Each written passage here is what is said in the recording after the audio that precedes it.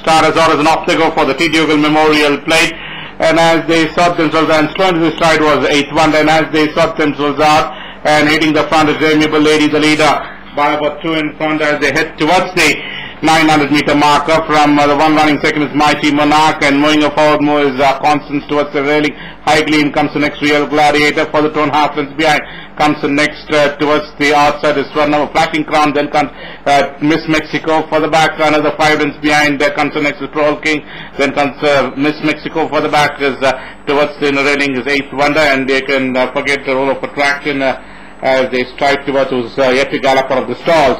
Role of attraction is still in the gates as they come towards the home straight and start negotiating the bend.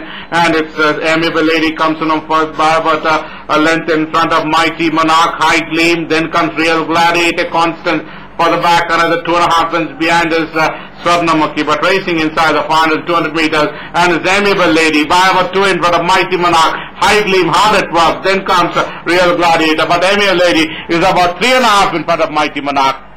Amiable, is by about four in front of mighty monarch, high. Then comes real gladiator, followed by flashing crown. Then comes uh, Constance, Swarnamukhi,